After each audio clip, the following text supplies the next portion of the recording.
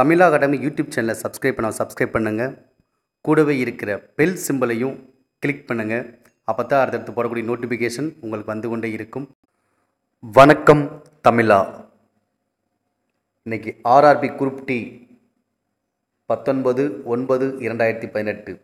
Shift one two three இந்த இதில் கேட்கப்பட்ட அசல் வினாக்களை பற்றி பார்க்க போகிறோம் இந்த வினாக்கள் வந்து நம்ம எப்படி எடுக்கிறோம் அப்படின்னா இன்று தேர்வு எழுதக்கூடிய மாணவர்கள் சொல்லக்கூடிய வினாக்கள் தான் நம்ம எடுப்போம். அதிலும் அவங்க சரியாக சொல்லக்கூடிய வினாக்கள் மட்டும்தான் எடுப்போம். கொஞ்சம் குழப்பமாக இருந்தாலும் கண்டிப்பாக எடுக்க மாட்டோம். பிறகு நிறைய வெப்சைட் சர்ச் பண்ணி அப்புறம் தான் இந்த கொஸ்டின் எடுக்கிறது. இப்போ பார்த்தீங்கன்னா கொஸ்டின் அங்கே உங்களுக்கு பெரிய கொஸ்டினாக கேட்டிருப்பாங்க. இன்றைக்கி எக்ஸாம் எழுதுனவங்களுக்கு. பட் அவங்க சொல்லக்கூடியது பார்த்தீங்கன்னா நமக்கு ஷார்ட்டாக தான் சொல்லுவாங்க. அதனால் வந்து என்ன சார் இந்த மாதிரி கொஸ்டின்லாம் வராத மாதிரி கூட உங்களுக்கு தோணலாம். பட் இந்த கொஸ்டின் தான் கேட்குறாங்க அதுதான் உண்மை ஓகேங்களா? நீங்கள் எந்த குழப்பமும் அடைய வேணாம். கிட்டத்தட்ட பார்த்தீங்கன்னா ரீசனிங் ஆப்டிடியூட் ஒரு நூறு கொஸ்டின் வருது அப்படின்னா இப்போ மூணு சப்ஜெக்ட் சேர்த்து இப்போ ஜிகே சயின்ஸ் மட்டுமே நான் அறுபது கொஸ்டின் மேலே போடுறோம். இப்போ ரீசனிங் ஆப்டிடியூட் இன்றைக்கி பார்த்தீங்கன்னா கொஸ்டின் வெரி வெரி ஈஸி தான். டிபிக்கல் அப்படிங்கிற லெவலுக்கு எந்த கொஸ்டின்ஸுமே கிடையாது. ரீசனிங் ஆப்டிடியூட் பார்த்தீங்கன்னா ஜென்ரலாக ஈஸியாக கெட்டுறது நல்லா ப்ராக்டிஸ் பண்ணிங்கன்னா இது நீங்கள் ஐம்பத்தஞ்சு கொஸ்டின் ஐம்பத்தஞ்சு மார்க் ஈஸியாக அடிச்சிடலாம். சயின்ஸ் அப்படிங்கிறது ஸ்டாண்டர்டாக கேட்டுக்கிட்டே இருக்காங்க. இந்த பிஹெச் அதோட வேல்யூ கேட்குறாங்க. எது இதில் என்ன அமிலம் இருக்குது அப்படிங்கிறது அந்த ரெண்டு மூணு டாபிக் தொடர்ந்து வந்துக்கிட்டே இருக்குது அது மெட்டல்ஸ் அந்த தனிம வரிசை அட்டவணை உலோகங்கள் இந்த மாதிரி டாப்பிக்கில் அதிகமாக கேட்குறாங்க. சயின்ஸ் ஸ்டாண்டர்டாக வந்துக்கிட்டு இருக்கு. பயாலஜின்னு கேட்டுக்கிட்டு இருக்காங்க அடுத்து ஸ்ட்ராட்டஜிக்கை மாநிலத்துடைய முதலமைச்சர் கவர்னர் உலக லெவலில் விருதுகள் ஸ்போர்ட்ஸ் இதில் கேட்குறாங்க. அதே மாதிரி முக்கிய திரைப்படங்கள். இது வந்து யார் நடிச்சிருக்காங்க என்ன கதாபாத்திரம் நடிச்சிருக்காங்க இந்த கொஸ்டின் ரிப்பீட்டடாக கேட்குறாங்க. இதில் இன்னொன்று குறிப்பிடத்தக்க அம்சம் என்னென்னா இதுக்கு முன்னாடி நேற்று அதுக்கு முன்னாடி நடந்தது. இந்த ரெண்டு நாளில் கேட்ட கொஸ்டினே திரும்ப திரும்ப கேட்டுக்கிட்டு இருக்காங்க அப்போ இந்த கொஸ்டினை நீங்கள் ஃபாலோ பண்ணாவே அந்த கொஸ்டின்ஸ் உங்களுக்கும் வரலாம்.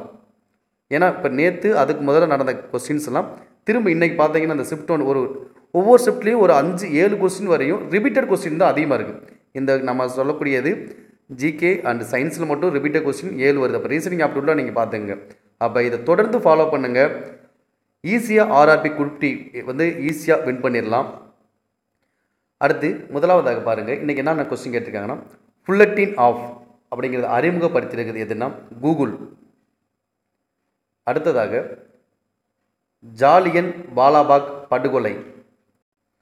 நடந்த ஆண்டு இந்த ஜாலியன் வாலாபாக் படுகொலை தான் இந்திய வரலாற்றிலேயே மிக மிக ஒரு துயர சம்பவம் நம்ம சொல்கிறோம் இந்த ஜாலியன் வாலாபாக் படுகொலை ஏன் நடக்கும்னா ரவுலட் சட்டம். இந்த ரவுலட் சட்டம் எப்போ உருவாக்கணும்? ஆயிரத்தி தொள்ளாயிரத்தி பத்தொம்போது மார்ச் பதினெட்டில் தான் இந்த ரவுலட் சட்டத்தை கொண்டு வருவாங்க. இதை எதிர்த்து நடத்தக்கூடியதான் இந்த ஜாலியன் வாலாபாக் அப்படிங்கிற இடத்துல ஒரு ஆர்ப்பாட்டம். பஞ்சாப் மாநிலத்தில் இருக்கக்கூடிய அந்த ஜாலியன் வாலாபாக்கில். நான்கு புறமும் கதவை அடைத்து ஜென்ரல் ஓ டயர் அப்படிங்கிறத வந்து துப்பாக்கியால் படுகொலை செய்வாங்க. துப்பாக்கி சூடு எந்தவித முன்னறிவிப்பு இல்லாமல் நடத்துவாங்க. இது இந்திய வரலாற்றில் இந்திய சுதந்திர போராட்ட வரலாற்றில் மிகப்பெரிய ஒரு படுகொலை. ஜாலியன் வாலாபாக் படுகொலை. இது எப்போ நடந்துச்சுன்னா ஆயிரத்தி தொள்ளாயிரத்தி பத்தொன்பது ஏப்ரல் பதிமூன்று. அடுத்ததாக இந்தியாவினுடைய முதல் வைசிராய் இந்தியாவினுடைய முதல் வைசிராய் அந்த தலைமை ஆளுநர் அந்த கவர்னருங்கிற பதவிக்கு அப்புறம் வைசிராய் அப்படிங்கிற பதவி வருது. அதாவது அரச பிரதிநிதி இதில் முதல் அரச பிரதிநிதி யாருன்னா முதல் வைசிராய் யாருன்னா கானிங் பிரபு.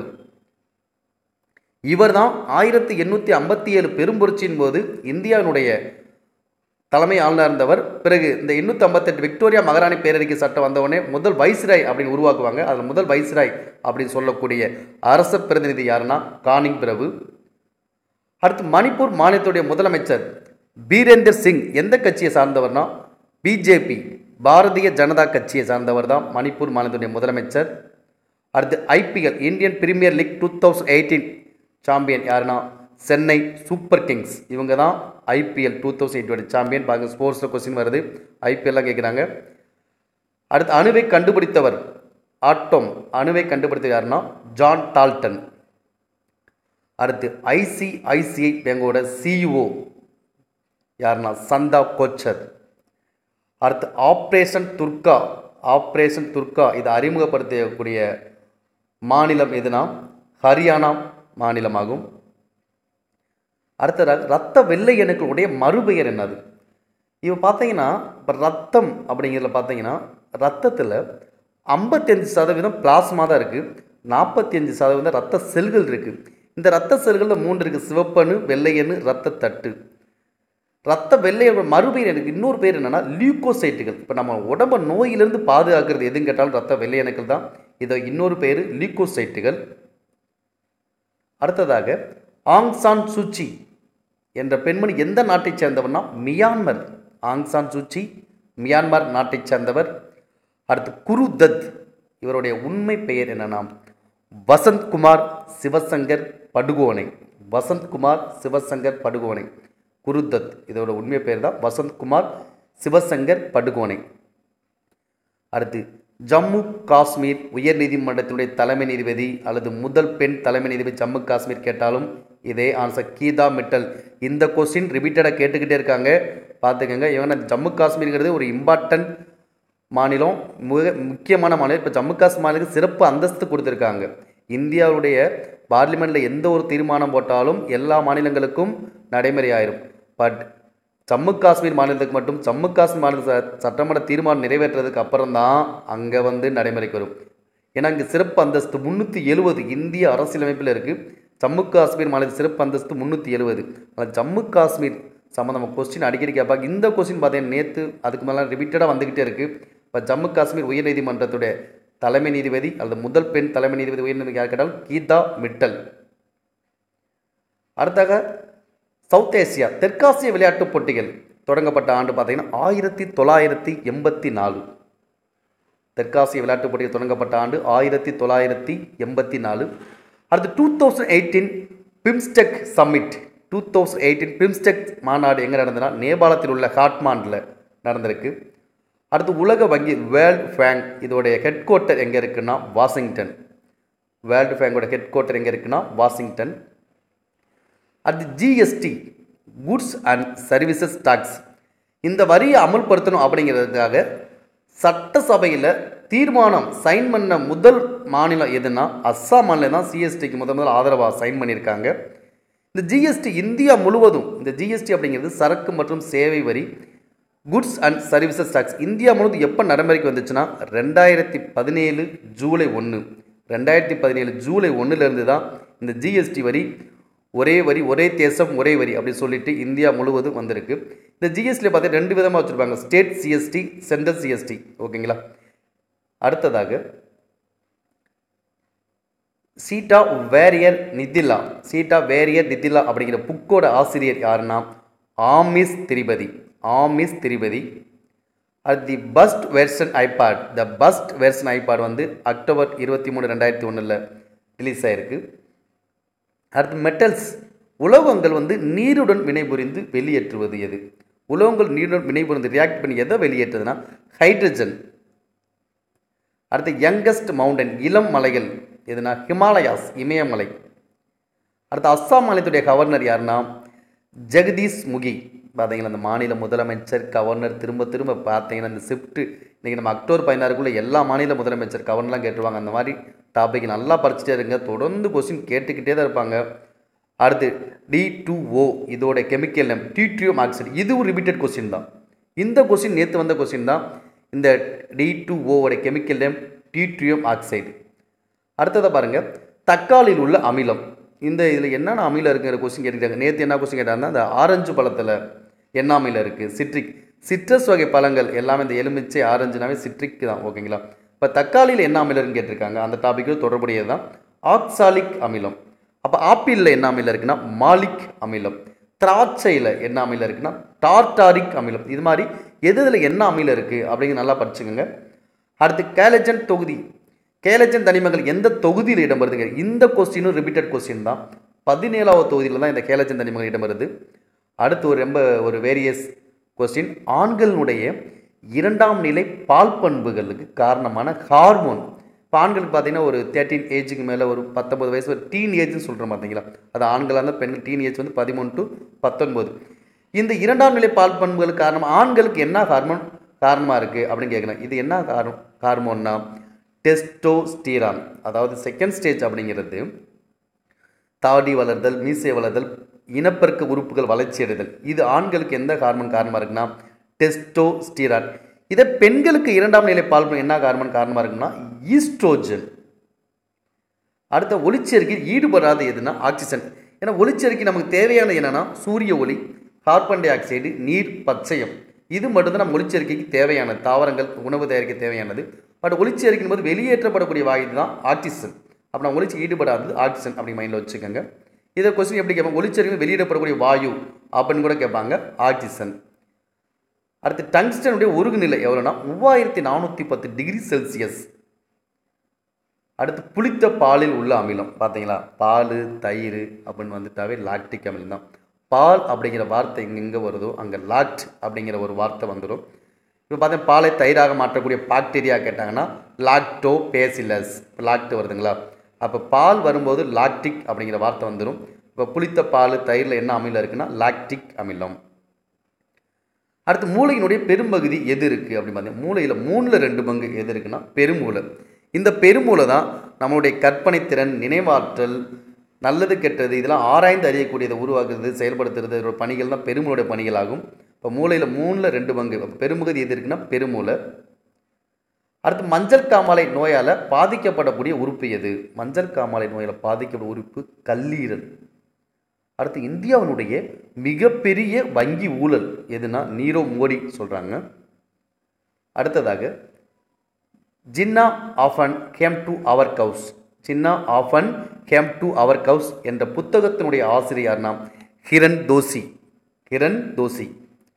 அடுத்து FIFA two thousand eighteen golden glove award FIFA two thousand eighteen golden glove award யார் வாங்கின? பெல்ஜியத்தினுடைய திபாத் கோர்டியாஸ் பெல்ஜியத்துடைய திபாத் கோர்டியாஸ் தான் பிபா டூ தௌசண்ட் எயிட்டுடைய கோல்டன் குளோ அவார்டு வாங்கியிருக்காரு. அடுத்து பத்மாவதி அது பத்மாவத் திரைப்படத்தில் அல்லாவுதீன் கில்ஜி ரோலில் நடித்தவர் யார்? இந்த கொஸ்டின் ரிப்பீட்டட் கொஸ்டின் தான். அப்போ பாருங்கள் ரிப்பீட்டட் கொஸ்டின் நிறையா வந்துக்கிட்டு இருக்கு. இந்த அல்லாவுதீன் கில்ஜி ரோலில் பத்மாவத் திரைப்படத்தை யார் நடிச்சாங்க? ரன்வீர் சிங். அடுத்து முன்கழுத்து கலலை காய்டர் எதன் பற்றாக்குறையால் உருவாகிறதுனா? அயோடின். அயோடின் பற்றாக்குறையால் உருவாகிறதா? இந்த முன்கழுத்து கலலை காய்டர் இப்போ அயோடின் கம்மியாச்சு நமக்கு என்ன? தைராக்சின் ஹார்மோன் கம்மியானாலும் இந்த முன்கழுத்து கலை ஹாய்டர் வரும். அடுத்து ஆக்ரா. ஆக்ரா நகரத்தை உருவாக்கியவர் யாருன்னா? சிக்கந்தர் லோடி. அடுத்த இந்தியாவுக்கும் சீனாவுக்கும் இடையேயான சர்வதேச எல்லைக்கோடு. பார்த்தீங்கன்னா இந்த சர்வதேச எல்லைக்கோடு இப்போ நம்ம இந்த வீடியோ போட்டு ஒன் வீக்கு தான் ஆகுது இந்த சர்வதேச எல்லைக்கோடு நம்ம ஏற்கனவே வீடியோ போட்டிருக்கோம். இருந்து ஒரு கொஸ்டின் கேட்டிருக்காங்க. இந்தியாவுக்கும் சீனாவுக்கு இடையே உள்ள சர்வதேச எல்லைக்கோடோட பெயர் மேக் மோகன் லைன். இப்போ இதை இந்தியாவுக்கும் பாகிஸ்தானுக்கு இடையே உள்ள எல்லைக்கோடு என்னென்னா ரெட் கிளிப் லைன். இந்தியா பாகிஸ்தானில் ரெட் கிளிப் இந்தியாவுக்கு சீனானா மேக் மோகன். அடுத்து ரெண்டாயிரத்தி பதினெட்டு பல்ஸ் போலியோ மிஷன். இதை யார் திறந்து வச்சுருக்காருன்னா குடியரசுத் தலைவர் இந்திய குடியரசுத் தலைவர் ராம்நாத் கோவிந்த் அவர்கள் தான் ஸ்டார்ட் பண்ணி வச்சுருக்காரு. அடுத்து ரெண்டாம் பேர் ரூப் பாலிசி அதாவது வாடகை கூரை கொள்கையுடைய தொடர்புடையது எதுனா சோலார் பவர் பிளான்ட் சூரிய மின்சக்தி நிறைந்த தொடர்புடையது.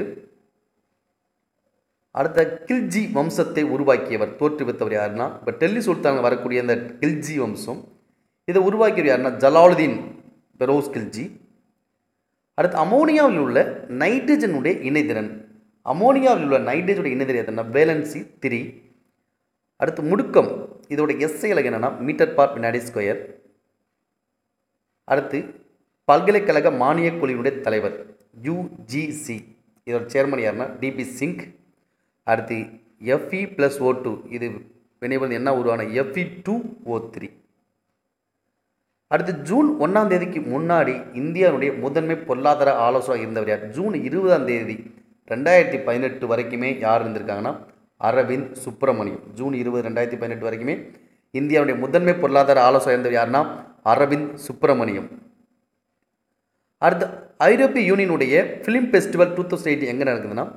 நியூ டெல்லி. அடுத்து ஸ்வீடன் நாட்டினுடைய தலைநகர் ஸ்டாக்ஹோம் பார்த்தீங்கன்னா இந்த டாப்பிக்கிலிருந்தும் அடிக்கடி ரிப்பீட்டடாக கொஸ்டின் கேட்டிருக்காங்க. நாடுகள் தலைநகர் நாணயம். இந்த டாப்பிக்லேருந்து கொஸ்டின் கேட்டுக்கிட்டே இருக்காங்க. அடுத்து இந்தியாவுடைய தலைமை தேர்தல் ஆணையாளர் யாருன்னா ஓம் பிரகாஷ் ராவத். அடுத்து நாகாலாந்து மாநிலத்துடைய முதல்வர் நெய்பி ரியோ. ஆஸ்திரேலிய open tennis two thousand eighteen Roger Federer. அடுத்து டூ தௌசண்ட் நைன்டீன் உலக துப்பாக்கி சுடுதல் சாம்பியன்ஷிப் எங்கே நடக்குதுன்னா இந்தியா. அடுத்து பல் ஈறுகளில் ரத்தம் அடிதலுக்கு என்ன காரணம்? ஸ்கர்வி நோயால் தான் பல் ஈறுகள் ரத்தம் அடையுது. இது எந்த விட்டமின் குறைபாட்டால் ஏற்படுதுன்னா விட்டமின் சி குறைபாட்டால் உருவாக்கக்கூடியது இந்த ஸ்கர்வி அப்படின்னு சொல்லக்கூடிய பல் ஈறுகளில் ரத்தம் அடிதல் அப்படிங்கிற நோய். எந்த விட்டமின் குறைபாடுனா விட்டமின் சி அடுத்து ரத்த சிவப்பணுக்களுடைய மறுபெயர். ரத்த சிவப்பணுக்களுக்கு மறுபெயர் என்ன எரித்ரோசைட்டுகள் இப்போ அந்த ரத்த சிவப்பணுக்கள் நிறமி எதுன்னு கேட்டாங்கன்னா ஹியூமோகுளோபின் ஹெச்பி அப்படின்னு சொல்லுவாங்க. அது சுவாச நிறமின்னு சொல்லுவாங்க. இதுக்கு முன்னாடி பார்த்து ரத்த வெள்ளை அணுக்கள் லியூக்கோசைட்டுகள் ரத்த தட்டுக்கள்லாம் திராம்போசைட்டுகள் அப்படின்னு மைண்ட் வச்சுங்க கன்ஃபியூஸ் செய்கிறாங்க ரத்த சிவப்பணுக்கள்லாம் எரித்ரோசைட் ரத்த வெள்ளையணு லியூக்கோசைட் ரத்த தட்டுக்கள்லாம் திராம்போசைட் அடுத்து மரபியலுடைய தந்தை ஃபாதர் ஆஃப் ஜெனடிக்ஸ் யாருன்னா கிரிகட் ஜோகன் மெண்டல். இந்த கொஸ்டின் ரிப்பீட்டட் கொஸ்டின் தான். மரபியலுடைய தந்தை கிரிகட் ஜோகன் மெண்டல். அடுத்து சிற்றினுடைய தோற்றம் இந்த ஒரிஜின் ஆஃப் ஸ்பீசஸ் அப்படிங்கிற நூலை எழுது யாருன்னா சார்லஸ் டார்வின். இயற்கை தேர்வு கொள்கை பரிணாம கொள்கை சிற்றின் தோற்றம் என்ற நூலை எழுது யாருன்னா சார்லஸ் டார்வின். அடுத்து ஐசிசியோட தலைவர் யாருன்னா சசாங் மனகோர். அடுத்து மத்திய நிதி அமைச்சர் யாருன்னா அருண் ஜெட்லி. அடுத்து உலக தண்ணீர் தினம் உலக தண்ணீர் வேர்ல்டு வாட்டர் டே இது ஒரு ரிப்பீட்டட் கொஸ்டின் தான் மார்ச் டுவெண்ட்டி டூ. அடுத்து ஆரவல்லி மலைத்தொடர் அமைந்துள்ள மாநிலம் எதுனா ராஜஸ்தான் ராஜஸ்தான் மாநிலத்தில் நிறைய பகுதி இருக்குது இப்போ ஹரியானா குஜராத்லையும் இது இடம்பெறும் இது அதிகமாக வரக்கூடியது பார்த்தீங்கன்னா ராஜஸ்தான் மாநிலம். அடுத்து ஒப்படர்த்தி அழகு ஒப்படர்த்தி பார்த்தீங்கன்னா அழகு இல்லை. பாருங்கள் ரிப்பீட்டட் கொஸ்டின் கேட்டிருக்காங்க. இன்னொன்று பார்த்தீங்கன்னா பதினாலாம் தேதி எப்படி நம்ம கொஸ்டின் இருந்ததோ அதே மாதிரி டாப்பிக்கில் தான் கொஸ்டின் அந்த டாப்பிக்கில் வேறு வேறு கொஸ்டின் தான் வந்துக்கிட்டே இருக்குது அதனால் அந்த டாபிக் என்னென்ன டாபிக் கேட்குறாங்க அதில் அந்த டாப்பிக்காக நீங்கள் செக் பண்ணி ஃபாலோ பண்ணிக்கிட்டே இருங்க. அடுத்து என்னடா இப்போ நம்ம டெய்லி அனலைசிஸ் அதையும் நீங்கள் ஃபாலோ பண்ணுங்கள் ரிப்பீட்டட் கொஸ்டினே பார்த்தீங்கன்னா இப்போ கிட்டத்தட்ட நம்ம அறுபது கொஸ்டின் தான் நம்ம போட்டிருக்கோம். இன்னும் நிறையா கொஸ்டின் இதில் இடம்பெறல. இந்த அறுபது கொஸ்டினில் பார்க்கும்போது ஒரு எட்டு ஏழு எட்டு கொஸ்டின் பார்த்தீங்கன்னா ரிப்பீட்டட் கொஸ்டின் இருக்குது இப்போ ரிப்பீட்டட் கொஸ்டின் இந்த வந்த கொஸ்டின் வரும்போது நம்ம ஈஸியாக வந்து மார்க் ஸ்கோர் பண்ணிடலாம். ஓகேங்களா தொடர்ந்து தமிழா அகாடமி யூடியூப் சேனலில் ஃபாலோ பண்ணுங்கள் இதுவரை சப்ஸ்கிரைப் பண்ணாதவங்க யாராவது இருந்தீங்கன்னா சப்ஸ்கிரைப் பண்ணுங்கள் கூடவே இருக்கிற பெல் சிம்பிளையும் கிளிக் பண்ணுங்கள் அப்போ தான் அடுத்தடுத்து போடக்கூடிய வீடியோஸ் உங்களுக்கு நோட்டிஃபிகேஷன் வந்து கொண்டே இருக்கும். ஆர்ஆர்பி குரூப் டி தேர்வில் அதிக மதிப்பெண்களுடன் வெற்றி பெற தமிழா அகாடமி உங்களை மனமாற வாழ்த்துகிறது. டிஎன்பிஎஸ்சி போட்டித் தேர்வுக்கு முயற்சிப்பவர்களா நீங்கள்? இதோ உங்களுக்கான இலவச ஆப் அன் அகாடமி லேர்னிங் ஆஃபை டவுன்லோட் பண்ணிக்கங்க. இதில் தமிழா அகாடமி சரவணகுமார் டிஎன்பிஎஸ்சிக்கு ஜென்ரல் ஸ்டடீஸ் ஜென்ரல் தமிழ் எல்லா டாபிக் வைஸாக நிறைய வீடியோஸ் போட்டுக்கிட்டே வரோம். இதுவரை ஃபாலோ பண்ணாதவங்க ஃபாலோ பண்ண கிளிக் பண்ணி தொடர்ந்து ஃபாலோ பண்ணுங்கள்